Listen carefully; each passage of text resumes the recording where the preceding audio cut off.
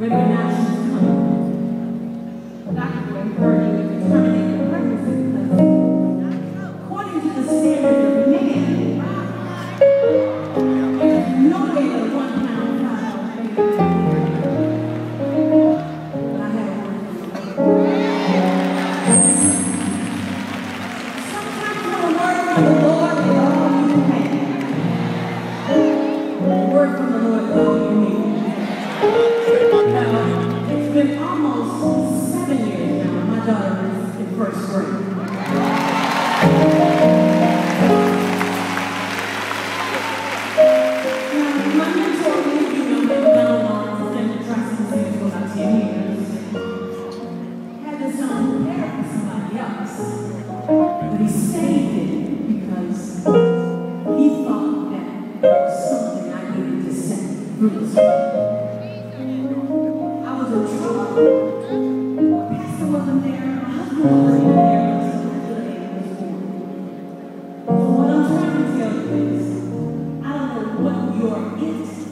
But when you get away from everything that's comforting to you, you have to